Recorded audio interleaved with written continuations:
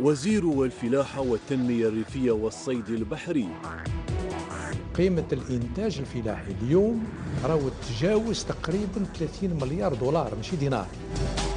عبد السلام شلغوم نقول أن الفلاحة وحدها تكون هي البديل وحدها هذه تقريبا مستحيل. لا هذه السنة لا السنة القادمة. يتحدث لتلفزيون النهار. لما يكون هناك يعني نقص في الإنتاج. يكون هناك مشكل ولما يكون هناك فائض في الإنتاج يكون هناك مشكل. هذه المجمعات لازم تتأقلم مع المعطيات الجديدة وتكون أكثر في خدمة الفلاحة.